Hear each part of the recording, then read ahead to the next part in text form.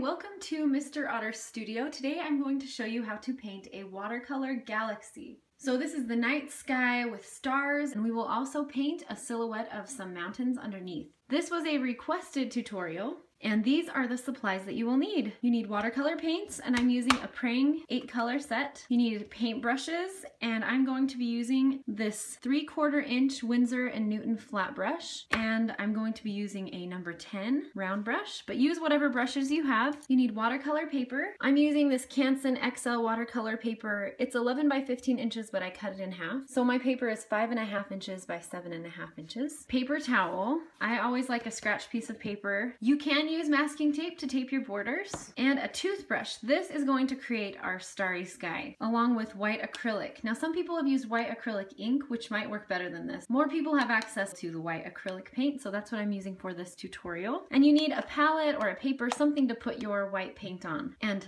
water and that is it. So let's get started. If you're left-handed go ahead and move your paint set over to the left side of your paper and your water. If you're right-handed just keep it on the right side. Make sure you're using the right side of your paper. One side of the paper paper is textured like this and the other side is a little bit textured but not as much. Use the side that has more texture. This part is optional. Use your masking tape to tape the edges. Once you've put your tape on the borders, go ahead and use your finger to smooth it out, just to make sure it seals. Let's go ahead and start with the wet in wet technique. I like to just drop a little water into my colors. So just go ahead and put a drop in your black, your violet, and your blue. And what we're gonna do is paint our whole paper with water. Paint the whole thing so it's really, really wet. It's a good idea to tape your paper to your table or whatever you're painting on because when we get it really wet, it's gonna start to warp. So this will keep it nice and straight for us. And the wetter your paper is, the better.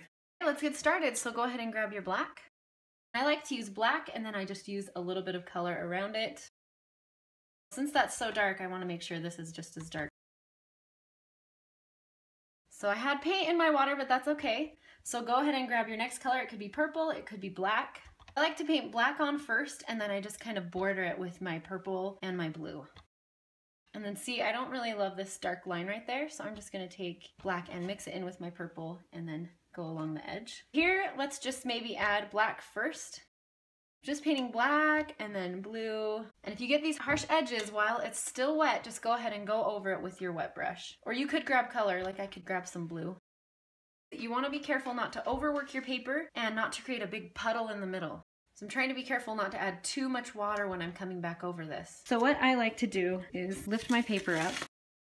If I stand my paper up this way, the colors are gonna start to bleed down just a little bit. You can just keep moving it around until you get the effect that you want.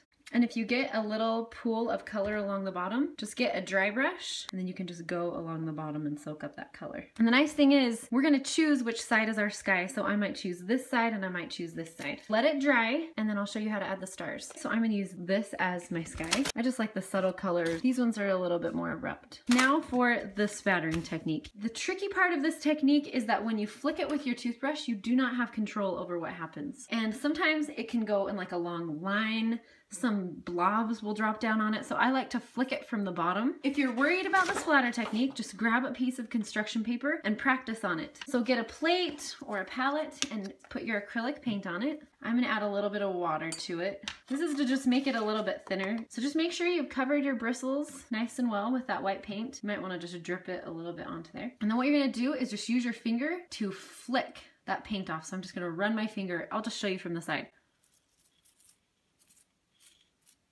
And that's how we make our stars. So just take a piece of construction paper and practice flicking your paint. Once you've practiced and you're ready to start on your paper, dip your paintbrush, cover it in acrylic paint, get some of the drips off, and then start flicking it. The hardest part for me is to know when to stop.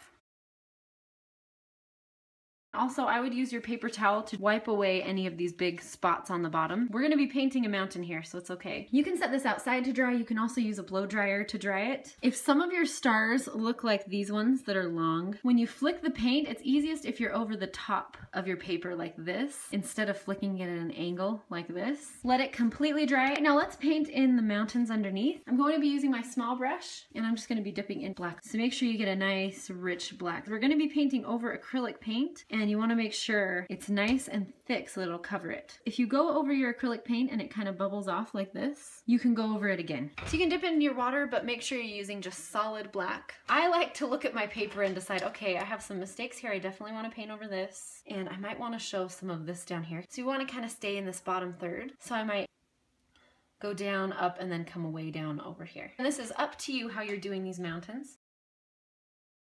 So fill in below it with your black. Don't worry if you can see some of your acrylic paint, you can do another layer and cover it up. Once you've finished doing the basic shape of your mountains, come along the top and you can make some details. It almost just looks like grass. So just use the tip of your small brush to add some details along the top of that mountain. This is optional.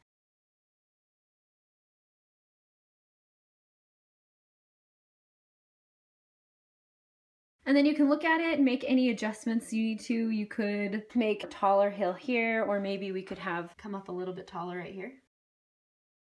After your mountains have dried, you can take off your tape and just be careful not to tear your paper.